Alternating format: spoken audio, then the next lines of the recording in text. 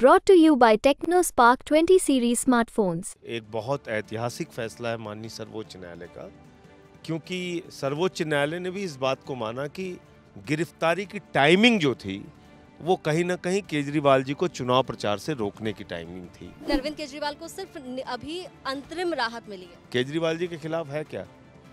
आप मुझे बताइए क्या है इस मामले में? न इसका सिर है न पाँव है। ईडी की तरफ़ से एक स्टेटमेंट दिया गया था आपको लेकर। ये कहा था कि आपने संजय सिंह को जमानत दी देखिए वो बाहर जाकर किस तरह के स्टेटमेंट दे रहे हैं। मैं क्या गूँगी गुड़िया बनने के लिए थोड़ी बाहर आया हूँ? मतलब मैं मैं एक राजनीतिक व्यक्ति हूँ पार्टी का कार्यकर्ता हूँ तीस साल से सार्वजनिक जीवन में हूँ मैं गूँगी गुड़िया बनने के लिए थोड़ी बाहर आया हूँ। प्रधानमंत्री ने हाल ही में ये कहा है कि तीन फ़ीसदी मामले ही ऐसे हैं जिस जो नेताओं के ऊपर हैं, जबकि 97 परसेंट केसेस जो हैं, वो ब्यूरोक्रेट्स पर हैं, वो लैंड माफिया पे हैं। ये अपने आप में बड़ी हास्यास्पद बात है, वो भारत के प्रधानमंत्री होकर ऐसी बात कह रहे हैं। क्या कन्विक्सन रेट है ईडी का? आपको पता है पॉइंट फाइव परसेंट मेरे खुद के मामले को लेके, खैर मुझे कोर्ट ने रोका, मैं अपने मामले में नहीं बोलता हूँ, चलिए कोई बात नहीं। केजरीवाल जी के मामले को लेके। कितने लोगों से पूछताछ हुई कितने लोगों से आपने छापेमारी की परेशान किया? तो इसलिए मैं यही कह रहा हूँ कि प्रधानमंत्री को इस तरह से झूठ नहीं बोलना चाहिए। पार्टी के चार बड़े टॉप लीडर्स को उठाकर जेल में डाल दिया और किसी भी पार्टी के अगर चार बड़े लीडर्स को कोई जेल में डाल दे कोई गिरफ़्तार करा दे तो पार्टी टूट जाती है। आम आदमी पार्टी का जन्म ही आंदोलन के कोख से हुआ है। आप हमसे इस फ़ील्ड पे खेलना चाहेंगे कभी नहीं जीत पाएँगे। मैं भाजपाइयों को सलाह दे रहा हूँ। ऐसे मत करो। कभी हमसे इस आधार पे तुम नहीं जीत सकते कि तुम हमें प्रताड़ित करो और सोचो कि तुम जीत जाओगे। वो गलत फ़ील्ड पे खेल रहे हैं। ये हमारी पिच है। हमारी पिच पे आके हमसे आप कैसे जीत सकते हैं? अब अरविंद केजरीवाल क्योंकि प्रचार के लिए उपलब्ध हैं आपके पास तो आपको लगता है कि चुनाव यहाँ से पलटेगा और बदलेगा? इंडिया गठबंधन को बहुत फ़ायदा होगा केजरीवाल जी के बाहर आने से और वो प्रचार के लिए जाएँगे भी दूसरी जगहों पे और आप देखिएगा कि चार जून को जो उन्होंने कहा भी है आज कि इंडिया गठबंधन की सरकार बनेगी और जो वादे हमने जनता से किए हैं उसको पूरा करेंगे। देखिए आज उन्होंने दो तीन बहुत महत्वपूर्ण बात उठाई। एक तो उन्होंने कहा कि ये वन नेशन वन लीडर के फॉर्मूले पे मोदी जी काम करते हैं। और इन्होंने पूरे विपक्ष को निपटाया। क्या योगी आदित्यनाथ मोदी जी के लिए चैलेंज है? बीजेपी के अंदर उनको कोई नेता ऐसा नहीं चाहिए जो लगता है कि दूर दूर तक उनको कहीं चुनौती दे सकता है। और उनको अपने सबसे करीबी यार के लिए रास्ता बनाना है। यहाँ पर मुख्यमंत्री कह रहे हैं अरविंद केजरीवाल की 220 से 230 सीट जो है वो बीजेपी को मिल सकती है। ये कैलकुलेशन कैसे किया आपने? अब ये कह रहे हैं 400 पार 400 पार 400 पार। जनता इनको कह रही है तड़ी पार तड़ी पार तड़ी पार। और आप देख लीजिएगा कि 300 से ज़्यादा सीटें इंडिया गठबंधन की आएँगी इस बार। दिल्ली के मुख्यमंत्री अरविंद केजरीवाल को सर्वोच्च न्यायालय से अंतरिम जमानत मिली है और एक जून तक अब वो बाहर रहेंगे, प्रचार करेंगे। 11 मई को अरविंद केजरीवाल बजरंगबली के दर्शन करने के लिए पहुँचे और उसके बाद उन्होंने प्रेस कॉन्फ्रेंस बुलाई थी, लेकिन वो प्रेस कॉन्फ्रेंस कम, उनकी रैली ज़्यादा लग रही थी। लेकिन अब क्या प्रचार की स्ट्रैटेजी में तब्दीलियाँ होंगी? किस तरीके से अरविंद केजरीवाल को अंतरिम जमानत मिलने के बाद आम आदमी पार्टी अपनी रणनीति बदलेगी? और क्या कुछ हमें आने वाले समय में देखने के लिए मिलेगा? इस पर बातचीत करने के लिए आज हमारे साथ बेहद खास मेहमान हैं। आम आदमी पार्टी के राज्यसभा सांसद संजय सिंह। बहुत बहुत स्वागत है संजय सर आपका। जी नमस्कार आपके दर्शकों को नमस्कार। अरविंद केजरीवाल को अंतरिम जमानत मिल गई है। सबसे पहले तो इसी पर मैं आपकी प्रतिक्रिया चाहूँगी। देखिए ये मैं समझता हूँ कि एक बहुत ऐतिहासिक फैसला है माननीय सर्वोच्च न्यायालय का, क्योंकि सर्वोच्च न्यायालय ने भी इस बात को माना कि गिरफ्तारी की टाइमिंग जो थी, वो कहीं ना कहीं केजरीवाल जी को चुनाव प्रचार से रोकने की टाइमिंग थी। आप देखिए कि ये मामला दो साल से चल रहा है। आप एक देश की सबसे प्राइम जाँच एजेंसी, वो दो साल में अपना इन्वेस्टिगेशन पूरा नहीं कर पा रही है। जिस मामले में सात साल की सज़ा है उस मामले में अगर सात साल तक आप जाँच करते रहेंगे तो फिर आपकी इस जाँच एजेंसी का मतलब क्या है? आप आप कह रहे हैं कि साहब हम दो साल से जाँच कर रहे हैं और ठीक चुनाव के पहले केजरीवाल को आप अरेस्ट कर रहे हैं। तो कहीं ना कहीं मोदी सरकार का और उनकी जाँच एजेंसी का इंटेंशन, उनकी नीयत बिल्कुल क्लियर थी इस मामले में कि केजरीवाल को गिरफ़्तार करो और चुनाव से प्रचार से रोको इनको। और इसी के कारण ये अंतरिम राहत मिली। इसके लिए माननीय सर्वोच्च न्यायालय का बहुत आभार और उनके फैसले का हम लोग स्वागत करते हैं। इस फैसले से भारत के संविधान को, लोकतंत्र को बचाने में मदद मिलेगी और जो तानाशाही की हुकूमत देश में चल रही है, उसका भी अंत करने में मदद मिलेगी।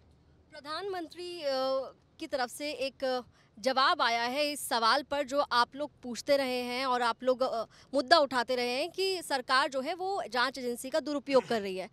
प्रधानमंत्री ने हाल ही में ये कहा है कि तीन फ़ीसदी मामले ही ऐसे हैं जिस, जो नेताओं के ऊपर हैं, जबकि 97 परसेंट केसेस जो हैं वो ब्यूरोक्रेट्स पर हैं, वो लैंड माफिया पे हैं, वो इस तरह के अपराधियों पर हैं। देखिए ये अपने आप में बड़ी हास्यास्पद बात है। वो भारत के प्रधानमंत्री होकर ऐसी बात कह रहे हैं।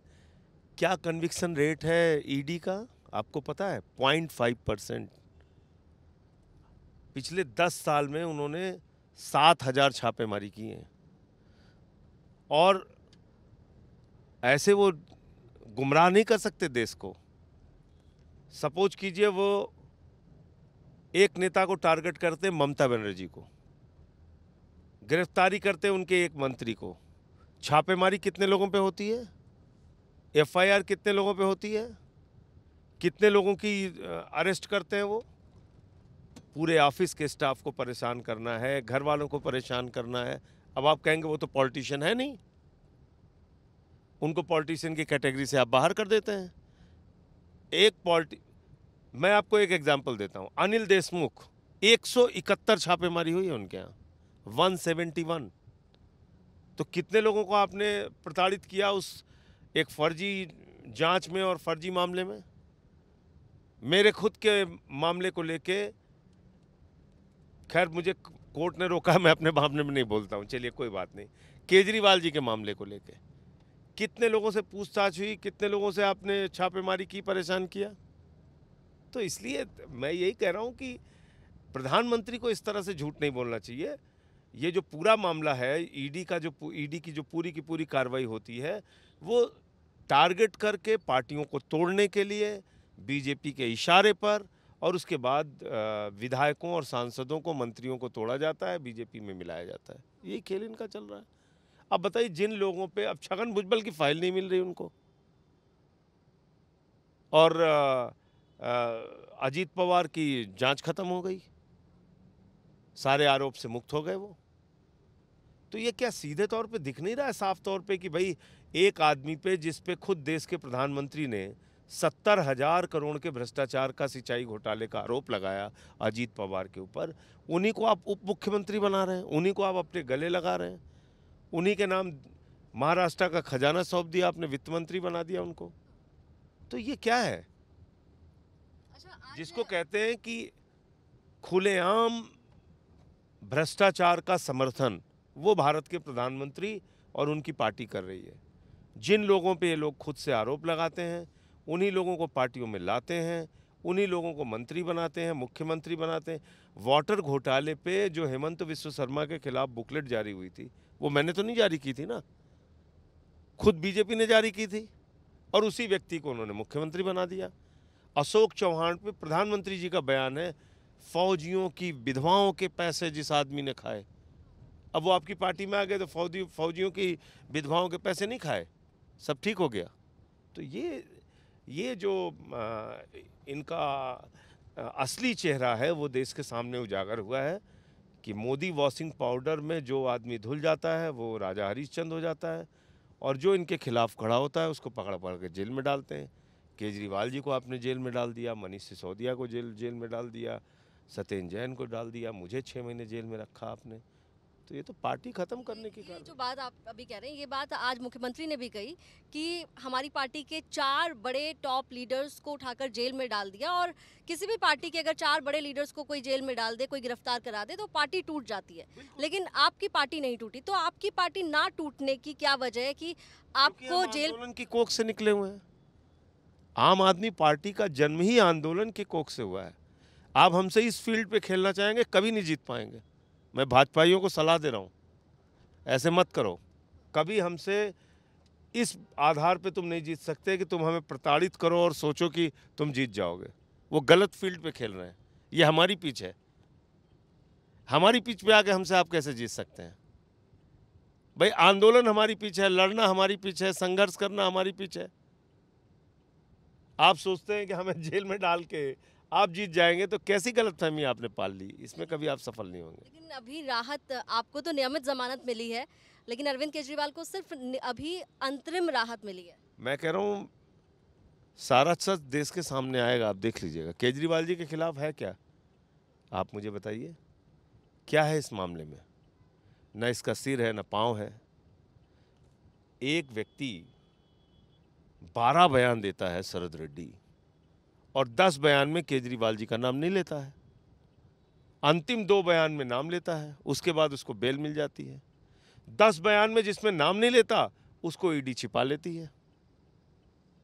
तो ये क्या है? कौन सा इन्वेस्टिगेशन है ये? ये दसवीं के बच्चे को भी समझ में आता है कि इन्वेस्टिगेशन क्या है। मंगुंटा रेड्डी, राघव रेड्डी, इन दोनों ने कुल मिला के दस स्टेटमेंट दिए। आठ स्टेटमेंट में केजरीवाल का नाम नहीं है। अंतिम के दो स्टेटमेंट में केजरीवाल का नाम आता है, राघव रेड्डी को बेल मिल जाती है। बाकी के आठ स्टेटमेंट जिसमें केजरीवाल का नाम नहीं रहता, उसको ईडी छिपा लेती है। तो ये आखिर है क्या? कौन सी इन्वेस्टिगेशन है? अगर आप कहते हैं सेक्शन 50 पीएमएलए में जो भी बयान हम दर्ज कराते हैं, कोई भी व्यक्ति दर्ज कराता है तो वो बयान 164 के बराबर महत्व रखता है, यानी कि न्यायाधीश के सामने दिए गए बयान के बराबर उस बयान का महत्व है। तो आपने उस बयान को छिपाया क्यों? न्यायाधीश के सामने क्यों नहीं रखा? क्योंकि न्यायाधीश पूरी सच्चाई को समझ जाते। इसलिए ये एक अजीब तरीके की इन्वेस्टिगेशन चल रही है, जिसका न सिर है, न पाँव है, और जिस शरद रेड्डी ने अपनी अरेस्ट के बाद साठ करोड़ रुपए बीजेपी को रिश्वत दी, उस पर आप कोई कार्रवाई नहीं कर रहे हैं। किसी बीजेपी नेता से पूछताछ नहीं कर रहे हैं उनको कभी बुला नहीं रहे हैं। तो ये तो पर्पज आपका समझ समझ चुनाव को लेकर अब मैं बात कर लेती हूँ। अब अरविंद केजरीवाल क्योंकि प्रचार के लिए उपलब्ध हैं आपके पास तो आपको लगता है कि चुनाव यहाँ से पलटेगा और बदलेगा? देखिए आज उन्होंने दो तीन बहुत महत्वपूर्ण बात उठाई। एक तो उन्होंने कहा कि ये वन नेशन वन लीडर के फॉर्मूले पे मोदी जी काम करते हैं। और इन्होंने पूरे विपक्ष को निपटाया। अलग अलग राज्यों में वो चाहे ममता बनर्जी के नेता और मंत्री हों, वो चाहे झारखंड के मुख्यमंत्री हों, वो चाहे संजय रावत जी हों, उद्धव ठाकरे जी हों, उनकी पार्टी के लोग हों, वो चाहे शरद पवार जी और उनकी पार्टी के लोग हों, वो चाहे स्टालिन और उनकी पार्टी के लोग हों, पूरे देश में कांग्रेस पार्टी के बड़े बड़े नेताओं को पकड़ा पकड़ के जेल में डाला। तो पूरे देश में एक तो इनका काम है कि अभियान चला के तेजस्वी यादव हो गए, उनके पिता लालू यादव। तो अब आप देखिए कि पूरे देश में एक तो इनका अभियान है कि पूरे विपक्ष को पकड़ पकड़ के जेल में डालो। दूसरा इनका अभियान क्या है? खुद बीजेपी के अंदर जो भी थोड़े बहुत भी ताकतवर नेता हैं, उनको पूरी तरीके से राजनीति उनकी ख़त्म करो। आडवाणी जी की राजनीति इन्होंने ख़त्म कर दी, मुरली मनोहर जोशी जी की राजनीति ख़त्म कर दी, यशवंत सिन्हा जी की राजनीति ख़त्म कर दी। सुमित्रा महाजन जी की राजनीति ख़त्म कर दी। शिवराज सिंह चौहान जिसने इतनी बड़ी जीत दिलाई मध्य प्रदेश में, उनकी राजनीति ख़त्म कर दी। वसुंधरा राजे की राजनीति ख़त्म कर दी। डॉक्टर रमन सिंह की राजनीति ख़त्म कर दी। तो जितने भी भारतीय जनता पार्टी के अंदर भी बड़े नेता थे, उनकी राजनीति इन्होंने समाप्त कर दी, खत्म कर दी। अब अगला नंबर क्या है? अगला नंबर किसका है? पब्लिक से पूछा उन्होंने। आपके सामने जो आज प्रेस कॉन्फ्रेंस में लोगों की एक ही बात थी कि भाई अगला नंबर योगी का है। अगले नंबर योगी को निपटाएँगे अच्छा, ऐसा क्यों लग रहा है कि योगी आदित्यनाथ का जो नंबर है वो अगला नंबर बीजेपी के अंदर उनको कोई नेता ऐसा नहीं चाहिए जो लगता है कि दूर दूर तक उनको कहीं चुनौती दे सकता है। और उनको अपने सबसे करीबी यार के लिए रास्ता बनाना है। अमित शाह जी के क्या योगी आदित्यनाथ मोदी जी के लिए चैलेंज है? दूसरी बात प्रधानमंत्री कह चुके हैं पचहत्तर साल के उम्र में बीजेपी के नेता को रिटायर हो जाना चाहिए। ये उन्होंने आधिकारिक रूप से बयान भी दिया और तय भी किया है। अब उनकी उम्र पचहत्तर साल अगले साल होने जा रही है। तो उसके बाद नंबर किसका आएगा? अमित शाह का आएगा। तो मोदी जी जो गारंटी दे रहे हैं इस देश की जनता को उसको पूरा कौन करेगा? अमित शाह पूरा करेगा। दस साल आपने तो कुछ पूरा किया नहीं। अब आप अमित शाह के भरोसे देश छोड़ना चाहते हैं। तो इसलिए ये सारे प्रश्न हैं जो आज बहुत महत्वपूर्ण प्रश्न है देश के सामने, जिसको केजरीवाल साहब ने उठाया। देश के संविधान का मसला हो, देश के आरक्षण की व्यवस्था का मसला हो चुनाव को जिस तरीके से ये लोग ख़त्म कर रहे हैं, राज्य दर राज्य, इसका मसला हो। तो ये सारे प्रश्न उन्होंने बड़े महत्वपूर्ण प्रश्न उठाए। और मैं समझता हूँ कि इंडिया गठबंधन को बहुत फ़ायदा होगा केजरीवाल जी के बाहर आने से और वो प्रचार के लिए जाएँगे भी दूसरी जगहों पे और आप देखिएगा कि चार जून को जो उन्होंने कहा भी है आज कि इंडिया गठबंधन की सरकार बनेगी और जो वादे हमने जनता से किए हैं उसको पूरा करेंगे। अरविंद केजरीवाल के आने के बाद अब क्या कुछ तब्दीलियाँ आप लोग अपनी रणनीति में करने वाले हैं? देखिए सबसे बड़ी चीज़ तो यही है कि अ, पूरे देश में इंडिया गठबंधन के लिए प्रचार करने जाएँगे केजरीवाल जी। दूसरी बात यह है कि जो मुद्दे आम आदमी की ज़िंदगी से जुड़े हैं, वो चाहे सोशल मीडिया के माध्यम से, मीडिया के माध्यम से, जनता को हम ये समझाने की कोशिश करेंगे कि भाई इन इन मुद्दों के नाम पर आप वोट कीजिए। ये नकली मुद्दे जो चुनाव के समय में लाते हैं कभी भैंस का मुद्दा ले आए कभी बकरी का मुद्दा ले आए कभी मंगलसूत्र का मुद्दा ले आए कभी कोई मुद्दा ले आए जिसका वास्तविकता से कोई लेना देना नहीं होता ऐसे मुद्दों से आपका ध्यान भटकाने के अलावा आपको गुमराह करने के अलावा इन इन मुद्दों का कोई और अ, उठाने का कोई और कारण नहीं होता तो उससे दिमाग हटा के हम बात करेंगे लोगों की ज़िंदगी में कैसे उनकी दुश्वारियाँ दूर हो सकती हैं लोगों की ज़िंदगी में बदलाव कैसे आ सकता है? और ये अपील करेंगे लोगों को कि भाई कैसे कैसे मंजर अभी आने लगे हैं और गाते गाते लोग चिल्लाने लगे हैं, बदल डालो अब इस तालाब के पानी को, कमल के फूल तो मुरझाने लगे हैं। आज देश की हालत क्या कर दी प्रधानमंत्री जी ने? रोज़गार की हालत देख लीजिए आप। आपने 20 करोड़ नौकरी देने के लिए कहा था 10 साल में। प्रधानमंत्री से पूछा गया संसद के अंदर सरकार का जवाब है मात्र सात लाख नौकरियाँ दी हैं उन्होंने, और वो भी सात लाख कहाँ दी हैं? पता नहीं किसी को। प्रधानमंत्री जी ने देश की जनता से महँगाई कम करने का वादा किया था। कहा था चालीस रुपए में डीजल बिकेगा, पचास रुपए में पेट्रोल बिकेगा, पता नहीं क्या क्या वादे किए थे उन्होंने। एक सौ बीस रुपये में पेट्रोल बिका, सौ रुपये में डीजल बिका, तीन सौ रुपये की दाल बिकी, ढाई सौ रुपये का सरसों का तेल बिका, लीटर का। तो महँगाई आसमान पे पहुंचाई, सब्ज़ियाँ महँगी की, सारे कुछ महँगा हुआ इनके समय में। तीसरा वादा उन्होंने, किसानों से आमदनी दोगुना करने का कहा था। तो उनको धोखा दिया उन्होंने। उनको लाठियाँ पिटवाई और जब भी उन्होंने फ़सल का दाम मांगा, खाद मांगा, बीज मांगा तो बदले में उनको लाठियाँ मिली। तीन काले कानून के खिलाफ साढ़े सात सौ किसानों ने अपनी शहादत दी तो किसानों को धोखा दिया आपने। अब पहलवानों पे आ जाइए। यहीं दिल्ली में पहलवान बेटियाँ बैठी रहीं जंतर मंतर पे उनको न्याय नहीं मिला। उनको घसीट घसीट के मारा गया। तो न ये किसान के हैं न नौजवान के हैं न पहलवान के हैं। ये देश में किसी भी व्यक्ति या वर्ग की भलाई के बारे में नहीं सोचते। खाली नफरत फैलाओ झूठ बोलो देश के ऊपर राज करो। तो मोदी जी की एक ही गारंटी है झूठ बोलने की गारंटी। और अ, मुझे तो बड़ा आश्चर्य हुआ कि कैसे मोदी जी ने अडानी अंबानी का भी नाम ले लिया। मतलब दस साल तक आपने पूरे देश के संसाधन अडानी के नाम एक एक करके नीलाम किया, कोयला उसको दिया, गैस उसको दिया, बिजली उसको दिया, पानी उसको दिया, सड़क उसको दिया, स्टील उसको दिया, पोर्ट उसको दिया, एयरपोर्ट उसको दिया, ढाई लाख करोड़ रुपए का कर्जा उसको दिया, सब कुछ आपने अडानी के नाम कर दिया। और अब आप कह रहे हैं कि अडानी अंबानी के भ्रष्टाचार पे कोई नहीं बोलता। अरे, हम तो रोज बोलते हैं। आप कह रहे हैं टेंपू से काला धन गया, आपको नंबर मालूम है टेंपो का। पकड़िए ना। आपकी ईडी सीबीआई क्या कर रही है? आपके राज में टेंपू में भर भर के, बोरे में भर भर के काला धन जा रहा है। देश का प्रधानमंत्री कुछ भी बोलता रहेगा। वो कोई सामान्य व्यक्ति है क्या?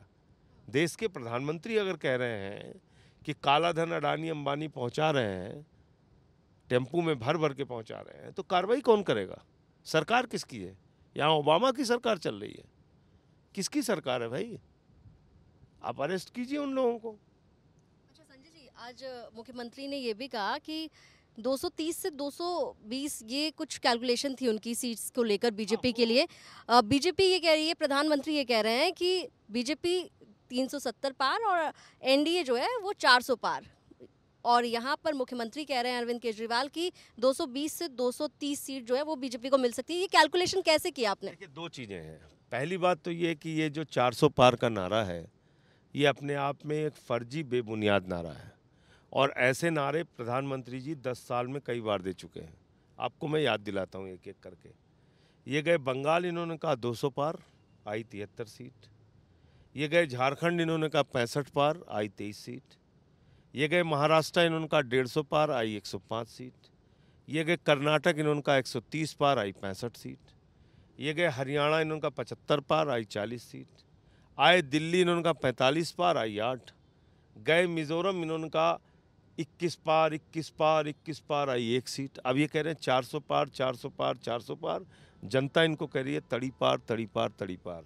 इस देश की जनता इनको तड़ी पार करेगी इस बार चुनाव में बुरी तरीके से हराने का काम करेगी। और आप देख लीजिएगा कि 300 से ज़्यादा सीटें इंडिया गठबंधन की आएँगी इस बार। मतलब केंद्र में इंडिया गठबंधन की सरकार बन रही है? बिल्कुल बन रही है। बिल्कुल बन रही है और यही कारण है प्रधानमंत्री बौखलाए हुए हैं। प्रधानमंत्री की जो भाषा है तीन चरणों के चुनाव के बाद आप देख लीजिए वो किस तरीके से बौखला के बोल रहे हैं। तो ये एक प्रमुख कारण है। दिल्ली में आप और कांग्रेस मिलकर लड़ रहे हैं। अरविंद केजरीवाल भी अब क्योंकि अंतरिम जमानत पर बाहर हैं तो क्या कोई ऐसी प्लानिंग है कि अरविंद केजरीवाल और कांग्रेस की तरफ़ से राहुल गांधी कुछ बड़े लीडर्स आप की पार्टी से आप गोपाल राय ये तमाम लोग मिलकर कोई प्रचार करें कोई जनसभा करें? निश्चित रूप से उसकी एक रणनीति बन के उस पर काम होगा। अभी तो कल ही आए हैं केजरीवाल जी और आज उनकी दो बड़ी रो- रोड शो का बड़ा रोड शो का कार्यक्रम है। आगे का भी कार्यक्रम दिल्ली में और जगहों पे भी बनेगा? अरविंदर सिंह लवली आपको और कांग्रेस को मिलाने में बड़ा रोल निभा रहे थे वो छोड़कर चले गए और जब छोड़कर गए तब उन्होंने अलायंस को बड़ा मुद्दा बताया। अब आदमी जब पार्टी छोड़ के जाता है तो कुछ ना कुछ तो बोलेगा ही उस पर मैं क्या कमेंट कर सकता हूँ? जब वो अपना दल छोड़ के जाए जा रहे हैं कहीं दूसरे दल में तो अब अपना अपनी बात को अपने काम को जायज़ ठहराने के लिए कुछ तो बोलेंगे। अच्छा एक मनीष सिसोदिया को लेकर भी थोड़ी सी बात कर लेते हैं क्योंकि लंबा वक्त हो गया है मनीष जी को भी चौदह महीने तकरीबन पूरे हो चुके हैं और अभी तक बेल नहीं मिली है उनको रेगुलर बेल नहीं मिली है। अभी मामला हाई कोर्ट में है दोबारा से। क्या लग रहा है कब तक उनको कोई राहत कोर्ट से मिल सकती है? जल्दी ही मिलेगी क्योंकि उनके मामले में भी कुछ नहीं है। और आप मैं तो, कोर्ट की सुनवाई या कार्रवाई पे कुछ नहीं बोल सकता लेकिन अगर आप जो मनीष सिसोदिया जी के मामले में सुप्रीम कोर्ट के अंदर सुनवाई हुई थी और सुप्रीम कोर्ट ने अपने ऑर्डर में खुद लिखा है कि बहुत सारे सवाल जो सुप्रीम कोर्ट ने ईडी से पूछे उसका कोई जवाब नहीं था ईडी के पास। तो इसलिए आप मैं कहता रहा हूँ सेक्स ये जो पीएमएलए का कानून है इसमें आप किसी को भी जेल में रखने के लिए ये कानून बनाया गया है। इसका मकसद जो इसका उद्देश्य था, वो तो ये था कि भाई ड्रग डीलर्स के ऊपर कार्रवाई होगी, हवाला कारोबारियों पे कार्रवाई होगी, लेकिन ये तो कार्रवाई जानबूझ के पॉलिटिशियंस के ऊपर की जा रही है। देश के सबसे बेहतरीन शिक्षा मंत्रियों में एक मनीष सिसोदिया को आपने पकड़ के जेल में डाल दिया, चौदह महीने से वो जेल में है। क्या हासिल हो गया आपको? कुछ भी उनके घर पे ना एक रुपये मिला, ना उनके गाँव में एक रुपये मिला, ना उनके बैंक में एक रुपये मिला। कोई आपको सबूत नहीं मिलता, बावजूद इसके आप, और जिन जिन लोगों के यहाँ भ्रष्टाचार के जो कीर्तिमान स्थापित कर चुके हैं, वो आपकी पार्टी में चले जाते हैं तो वो बच जाते हैं। ये बड़ी विडम्बना है। केजरीवाल का मैटर सर्वोच्च न्यायालय में था और कोर्ट ने ये कहा था कि अंतरिम जमानत देने पर हम विचार कर सकते हैं लोकसभा चुनावों के मद्देनज़र। तब ईडी की तरफ़ से एक स्टेटमेंट दिया गया था आपको लेकर। ये कहा था कि आपने संजय सिंह को जमानत दी, देखिए वो बाहर जाकर किस तरह के स्टेटमेंट दे रहे हैं। जो कोर्ट ने कहा है उसका पालन कर रहे हैं। मैंने किसी स्टेटमेंट में अपने बारे में अपनी भूमिका के बारे में कोर्ट ने मुझे मना किया है कि आप अपनी केस में अपनी भूमिका के बारे में कुछ नहीं बोलेंगे, मैं नहीं बोलता हूँ। आपके सामने भी नहीं बोला। तो मैं नहीं बोलता हूँ उसका पालन करता हूँ। बाकी मुद्दों पे बोलता हूँ और मैं क्या गूँगी गुड़िया बन, बनने के लिए थोड़ी बाहर आया हूँ? मतलब मैं मैं एक राजनीतिक व्यक्ति हूँ पार्टी का कार्यकर्ता हूँ तीस साल से सार्वजनिक जीवन में हूँ मैं गूँगी गुड़िया बनने के लिए थोड़ी बाहर आया हूँ। आया हूँ तो बोलने के लिए आया हूँ ना अपनी बात कहने के लिए आया हूँ ना। लोकतंत्र में इसी बात की तो आज़ादी है। तो क्या चाहती है सरकार कि मैं उनकी तानाशाही को स्वीकार करते हुए चुपचाप खामोश बैठा रहूँ घर पे? ये तो नहीं होगा। चलिए अब आपसे एक आखिरी सवाल। दिल्ली में सात सीटें हैं चार पर आम आदमी पार्टी और तीन पर कांग्रेस लड़ रही है और पिछले दो चुनावों से सातों की सातों सीटें बीजेपी जीत रही है। इस बार का क्या स्कोर रहेगा? इस बार सातों की सातों सीटें इंडिया गठबंधन जीतेगा। आम आदमी पार्टी और कांग्रेस जीतेगी वजह क्या लग रहा है वजह सबसे बड़ी यही, इनकी तानाशाही, और इन्होंने कुछ किया नहीं जनता के लिए। बेरोजगारी है, महँगाई है। आपने उनके सबसे लोकप्रिय नेता को पकड़ के जेल में डाल दिया अरविंद केजरीवाल को। तेईस दिन तक इंसुलिन नहीं दे रहे हैं, आतंकवादियों जैसा व्यवहार कर रहे हैं। तो लोग अरविंद केजरीवाल को प्यार करते हैं, और आप देखिएगा कि इस चुनाव में बहुत बड़ा परिवर्तन दिल्ली के अंदर होगा। संजय जी कह रहे हैं कि इस चुनाव में बहुत बड़ा परिवर्तन दिल्ली में भी होगा और देश में इंडिया गठबंधन की सरकार बनेगी। चार जून को नतीजे सामने आएँगे, तब पता चलेगा कि देश में किसकी सरकार बन रही है। लेकिन संजय सिंह, जिस तरीके से जाने जाते हैं अपने आक्रामक अंदाज में बात करने के लिए, कुछ उसी अंदाज में उन्होंने केंद्र सरकार पर भी हमला बोला और साफ़ तौर पर उनका कहना है कि सरकार बदलने का समय आ चुका है। कैमरामैन नीतीश के साथ अनुराधा तंवर, दिल्ली तक।